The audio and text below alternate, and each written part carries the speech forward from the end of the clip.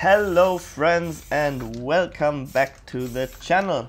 In this tutorial we'll be using lots of masking tape to create many layers on top of each other, creating a very simple but yet dynamic abstract painting. For the background layer I'm just adding different spray paints and I'm trying not to press too hard on the cap and thereby creating this sort of blurry background. Because I'm spraying indoors, I prefer to use spray cans that are water based and not chemical based because they don't stink as much. But still remember you always need to wear a mask. I'm using the spray cans from Amsterdam, but I'm not affiliated with them in any ways.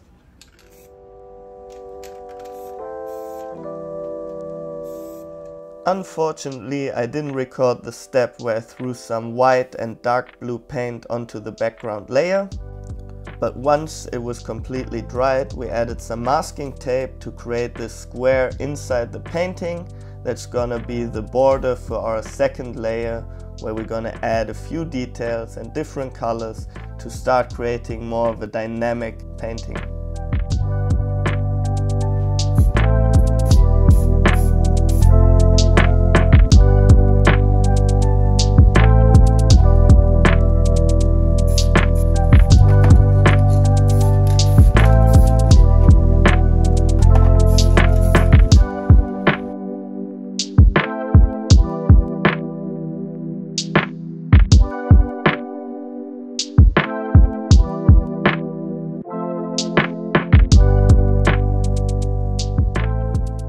For the second square we're using more of a yellow tone.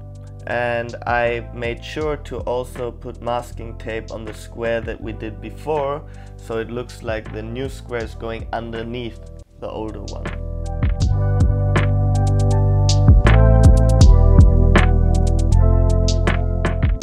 This green tape I'm using is called green frog tape and it gives you really crispy edges it's not translucent, so if I need to trace something, then I prefer using tape from 3M or from Tesa. They're also very good, but this one is perfect if you want some really clean edges.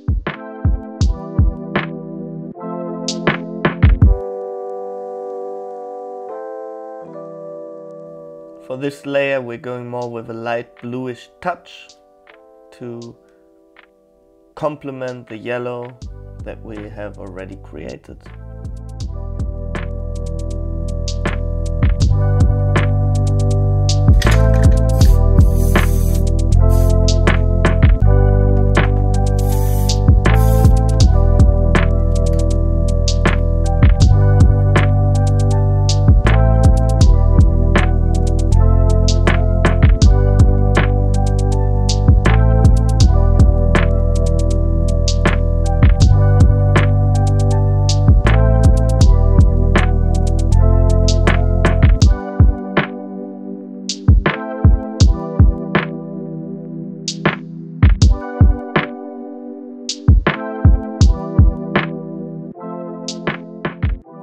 When I was applying the green masking tape before, I was like, you know what, this painting can really use some green. So that's what we're using now. We're using some emerald green, but instead of painting it, we're using a scraper and sort of scraping it over the canvas, creating these very nice effect.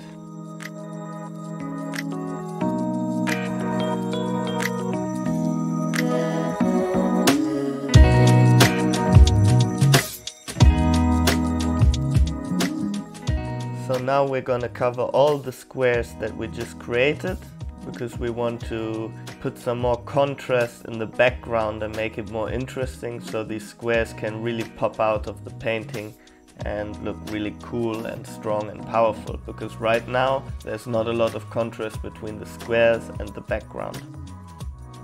And in order to do so, we're gonna use a similar effect like in my last painting, where we're gonna create this fading effect and we're gonna go from different angles and use different sizes to create this. So you apply masking tape in the first layer and then you spray a very fine coating of spray paint on top and then you keep adding masking tape to those areas and thereby you increase the darkness of the painting step by step, creating this fading effect.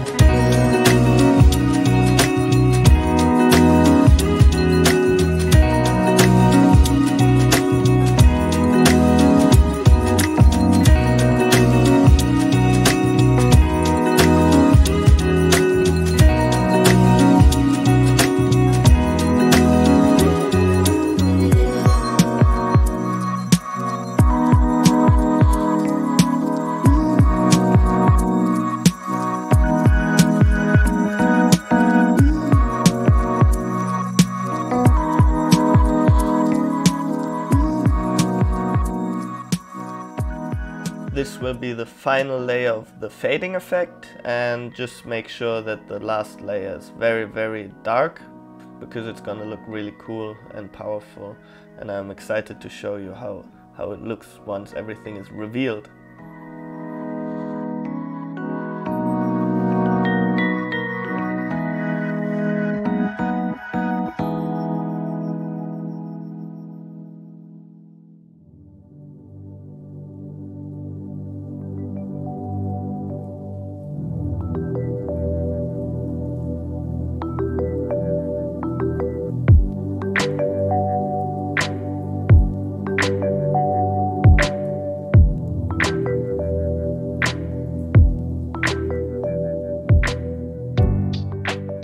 Isn't it crazy how much brighter the painting looks or the squares just by adding black into the background layer?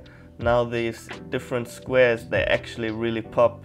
And to make them pop even more, what I like to do is add like a thin black border and that's what we're doing now.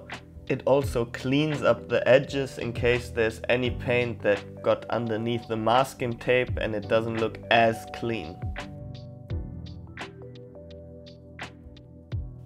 In terms of markers, I like to use the ones from Montana.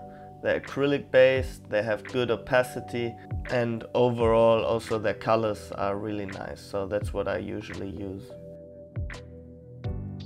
You might notice that I have more camera angles in this video than I did in my previous ones. That's because I'm trying to add new value and better quality videos to you every time I upload. I hope this is something you also enjoyed. Let me know in the comments if you actually noticed or not, or if you have any improvement ideas. And now for the final layer, I always say it's important, don't let an opportunity to create more contrast go to waste. And that's why we're just adding these two simple white lines, but I feel like they make the whole painting. I hope you enjoyed this video. Don't forget to subscribe to my channel, comment how you think this painting turned out, have a nice day and bye bye.